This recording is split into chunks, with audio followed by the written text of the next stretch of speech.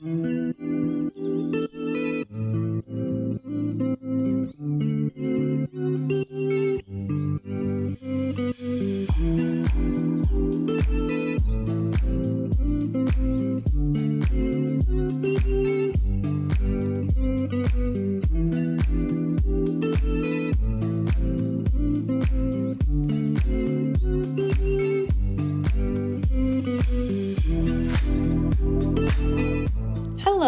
everyone, welcome to my channel today. I'm Tara with Pieces of Tara Artistry. Thank you for joining me.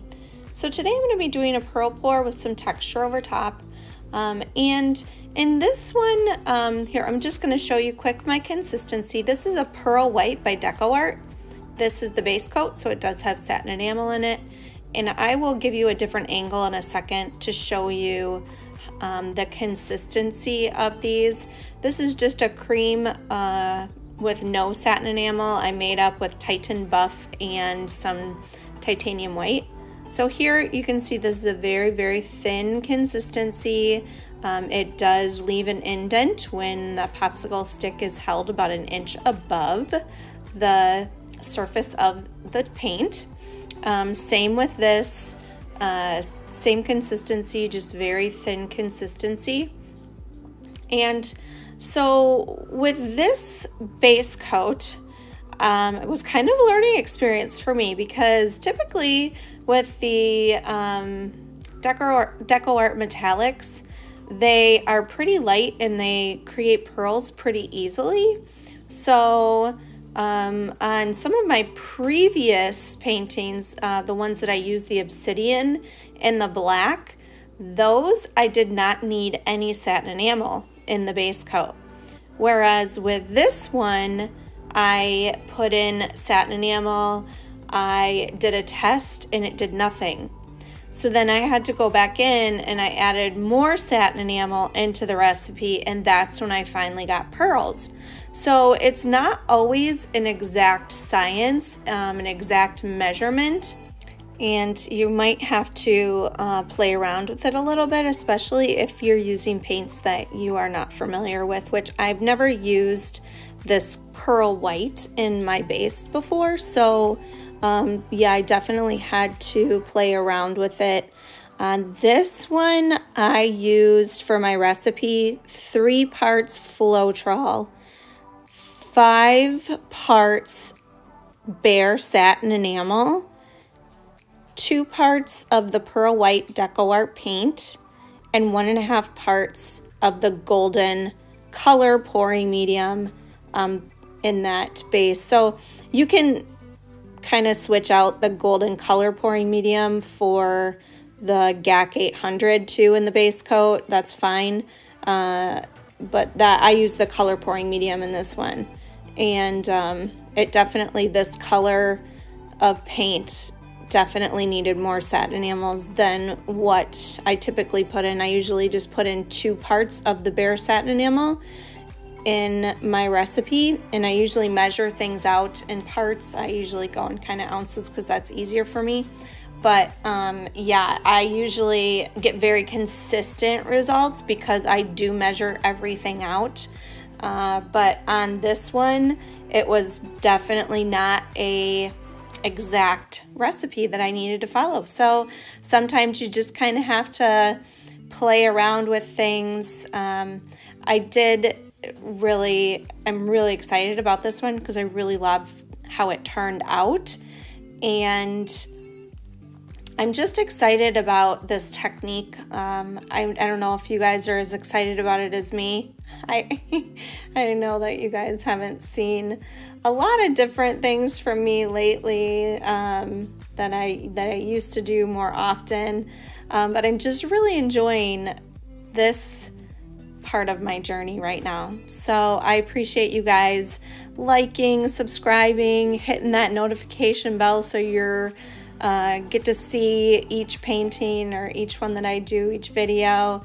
Um, and I really do appreciate all the comments, questions. If anybody ever has any questions, please feel free to ask. I'm very happy to answer any questions. Uh, now this pour over color here that I just put in, it was a uh, mixture of my 50% Floetrol, 50% GAC 800 pouring medium, and then I added in fluid paint. So it's not, I don't have an exact measurement when I put in fluid paints. When I do the pour over, I just kind of go try to find the color that I want it to be. So, um, and with fluid paints, you don't need as much um, of the paint because it's so, so much more pigmented. So I used the, um, the liquid Tri-Art in titanium white and I um, mixed that with the golden Titan buff and uh, that I just kind of came up with kind of a light creamy color that would sort of be more monotone with this pearl white that I used and I really like how it turned out. Now you'll see me doing some pretty extreme tilting here um, because you got to get that layer um, very thin on there and when I tilt extreme in one direction, I always tilt it back the other direction um, until I start seeing pearls all the way around and that's when I'll stop. So I know on this one, it's really, really hard to see the pearls. I do do a time lapse here, so um, you'll start to see them uh, popping up around the edges and then they'll start through the center as well. But um, I did speed through this pretty quick because I didn't want to bore you too much and let you guys watch grass grow here. But um, you can see all of the pearls that are starting to develop and they will continue to, to develop for uh, about 45 minutes, an hour. Um, so that's what you guys are seeing here now. Now here's the dry results and I apologize, one of my lights was not turned on during this part. So it's hard to kind of see, but you can see those pearls. And I did go in with a chalk, piece of chalk, and I kind of marked out the design that I wanted and I kind of will play around with the chalk a little bit because it's easy, easily erased. And then, but you can see I'm kind of struggling here to see where that chalk mark is. So I just, I knew I needed to put in some darker lines. So I just got an acrylic marker out and put in the darker lines um, just as a guideline to follow so that I know where I want my design to be and where I do not want it to be. In case you weren't aware, I will be teaching this in Asheville and Dallas, Texas, coming up with Fluid Art Experiences, so go check that out. Okay, so to share some of my tools here, this is my favorite little palette knife from fluid-art.co. It is the number 32. Um, I use the paper palettes there. This is the extra heavy molding paste from Golden. It holds very stiff peaks, so I love it.